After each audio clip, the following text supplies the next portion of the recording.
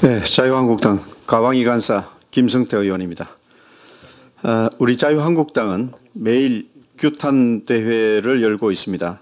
1 플러스 4라는 국회법 어디에도 찾아볼 수 없는 야합 모임에서 500조가 넘는 슈퍼 예산안을 불법 날치기 처리하고 선거법과 공수처법을 뒷거래 하고 있으니 국민들과 합심하여 야당의 목소리를 더 높일 수밖에 없는 상황입니다. 그런데 공영방송이란 곳에서 야당의 정당한 이의 제기를 편매하는 편파 보도를 지속해서 내보내고 있습니다. 거구, 테러, 난입 등 극단적인 의위를 동원해 가면서 여론을 선동하고 있습니다. 방송법 제5조 2항 방송은 국민의 화합과 조화로운 국가의 발전 및 민주적 여론 형성에 이바지하여야 한다라고 되어 있고 지역 간, 세대 간, 계층 간, 성별 간 갈등을 조장하여서는 아니 된다라고 되어 있습니다.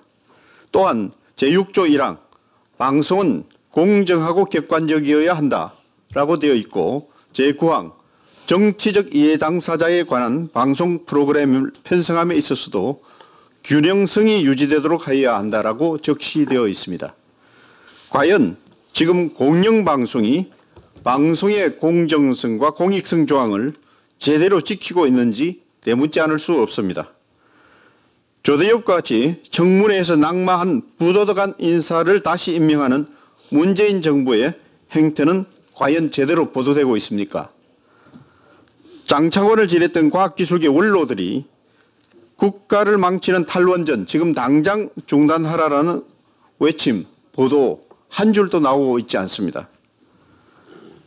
방송법 위반을 일상화하고 정권에 부역하는 공영방송, 국민의 외면이 이상할 게 하나도 없습니다.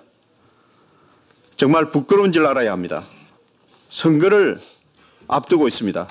편파방송, 당장 그만두고 객관적 사실에 기반한 방송을 하시기 바랍니다.